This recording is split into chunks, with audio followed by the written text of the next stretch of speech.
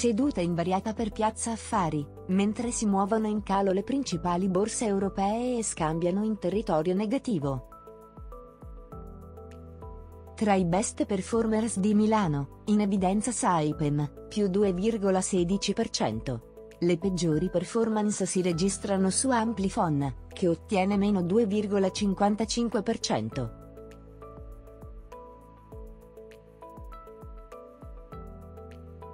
Sul mercato di Chicago, il petrolio, in aumento, più 0,92%, raggiunge 87,68 dollari per barile.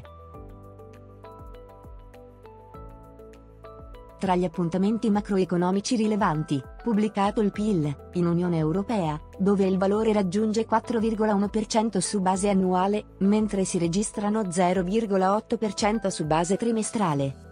In Giappone domani i mercati sono in attesa del PIL. Si attende dagli Stati Uniti la diffusione delle richieste del sussidio di disoccupazione, previsto sempre domani nel pomeriggio. Si attende un avvio positivo per la borsa di New York. In particolare, il future sull'S&P 500 è positivo, in sintonia con il future sul Nasdaq 100 che tratta a 12.035,5 punti. Thank you